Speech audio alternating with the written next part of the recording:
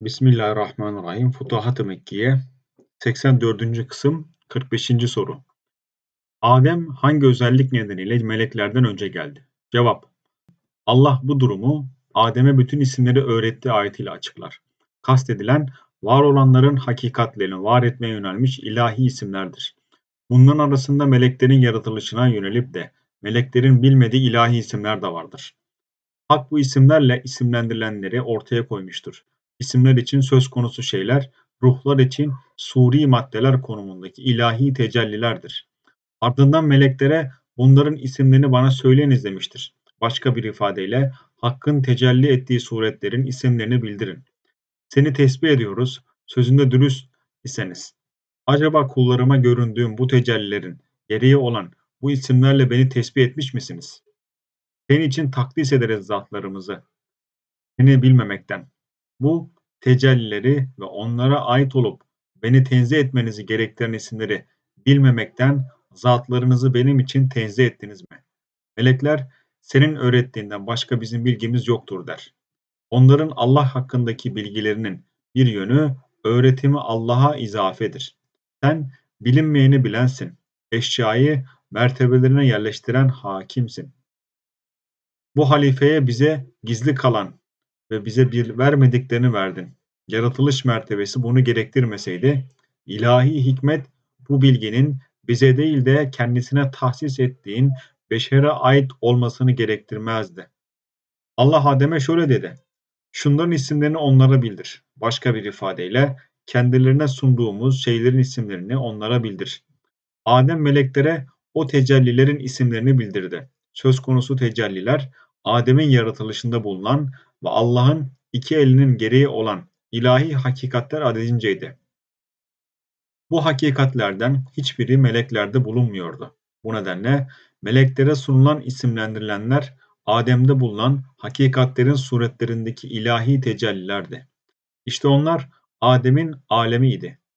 Adem onların isimlerini kendilerine öğrettiğinde Allah onlara şöyle der. Ben size göklerin gaybını bildiğimi söylemedim mi? Kastedilen ulvi gayb ilimleridir ve yerdekileri. Bunlar ise doğada bulunan sırlardır ve gizliliklerinizi bilirim. Yani açık olanları bilirim, sakladıklarınızı da. Bu ise gizledikleriniz ve sakladıklarınız demektir. Ben onun nispi bir durum olduğunu söyledim. Hatta o bilen için apaçıktır. Bu öğretişten sonra meleklere şöyle der. Adem için secde ediniz.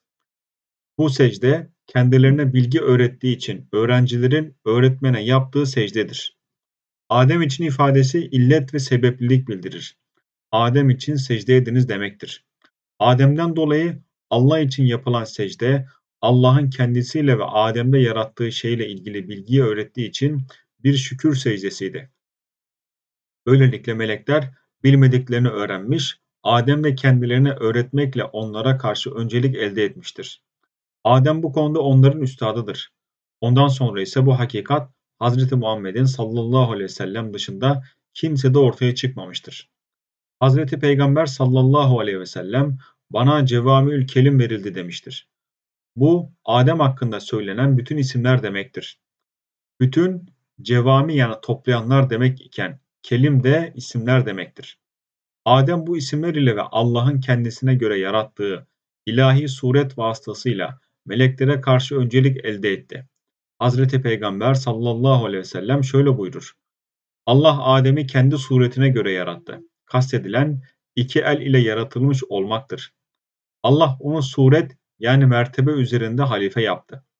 İki suret ilahi ve beşeri suret Adem'e meleklere karşı öncelik sağlamıştır. Aynı şey diğer yaratılmışlarda yoktur. Bu konumun üzerinde herhangi bir yaratılmışa ait mertebe olmadığı gibi kimse başkasına karşı öncelik taşıyamaz. Aynı şekilde Adem'e bu önceliği veren durumda bütün durumları önceler. 46. soru. Ona ihsan edilen ahlakın sayısı kaçtır? Bunlar Hazreti Peygamber'in sallallahu aleyhi ve sellem zikrettiği 300 ahlaktır. Hazreti Peygamber sallallahu aleyhi ve sellem şöyle buyurur. Allah'ın 300 ahlakı vardır. Onlardan biriyle ahlaklanan kimse cennete girer. Bu nedenle 300 veli hakkında onlar Adem'in kalbi üzerindedir demiştir. Başka bir ifadeyle Allah'ın Adem'e ihsan ettiği ahlak üzerindedirler. Adem'in oğullarından yaratılışı kemale ermiş herkes bu 300 ahlakı kabul edicidir. Adem'in kemali gibi kemal sahibi olmayanlar ise kendisine verildiği ölçüde bu ahlakı elde eder. Bu bağlamda bir kısmı kamil, bir kısmı da kamildir. Bir kısmı daha kamildir. Bu ahlak kazanımın dışındadır ve çabayla elde edilemez. Allah onları bir ayrıcalık olarak verir. Bunlar ile ahlaklanmak mümkün değildir. Çünkü onların oluşta eserleri yoktur. Bunlar kendi sayılarınca ilahi tecellilere ait bir takım hazırlıklardır. Tecellilerden herhangi bir şey sadece bu ahlak sahipleri için gerçekleşebilir. Böylece nitelenmenin söz konusu olmadığı ve sadece Allah'a özgü olan ve yaratılmışları ile arasında bir ilginin bulunmadığı ahlakı edinmekten seni men eder. Hazreti Peygamber sallallahu aleyhi ve sellem onlardan birisiyle ahlaklanan derken onlardan birisiyle nitelenen yani bu niteliğin kendisinde bulunduğu kimseyi kastetmiştir. Çünkü ahlak üç ayrılır. Birincisi bir varlığa karşı ahlaklanılabilen şeylerdir. Örnek olarak Er-Rahim ismini verebiliriz. Bir kısmı ise hem Allah hem de yaratılmışlar karşısında ahlaklanılan huylardır. Örnek olarak El-Gafur yani örten bağışlayan ismini verebiliriz. Bu isim kıskanç olması bakımından Allah ile ilgili şeyleri örtmeyi gerektirdiği gibi aynı zamanda yaratıklarla da ilgilidir. Üçüncü kısım ise özellikle Allah ile ilgilidir. Bunlar ise 300 tanedir. Bu ahlaka özgü cennet sadece bu ahlak sahiplerinin ulaşabildiği özel bir cennettir. Tecellileri ise diğer cennetlerde gerçekleşmez. Fakat onlar için bu ahlak insanın kendisiyle kokulandığı bir kokuya benzer. Çünkü bu temiz bir şeyden kokunun meydana gelişidir. Kendisine sürünenin onda bir katkısı yoktur. Çünkü söz konusu şey bu kokuyu özü gereği gerektirir. Ahlaklanma, ahlakın gerçekleşmesi için gayret demektir. Bu ise öyle değildir. Burada övgü bulunduğu kimseye değil, kokunun kendisinedir. Bir kulda bu ahlak göründüğünde ona bir övgü meydana gelmez. Övgü bilhassa ahlaka yöneliktir.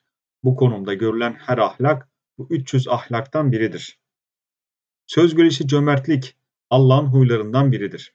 Kul onunla ahlaklandığında ise kerim yani cömertlik ile nitelenmiş diye övülür. Rahmet ile ahlaklanan kula rahim yani merhamet ile nitelenmiş denilir. Bu ahlaklar ile nitelenen kimseye genel olarak fail ismi verilmez. Bunun yerine nitelenen kimse adı verilir. Çünkü bu ahlakın oluşla ilgisi yoktur. Ne El-Gafur ismi gibi ortaklık ne de Eşşedidül İkab gibi özel hükümle bir ilişkisi yoktur. Bu ahlakı sadece El-Vehhab ismi ihsan mertebesinden verir.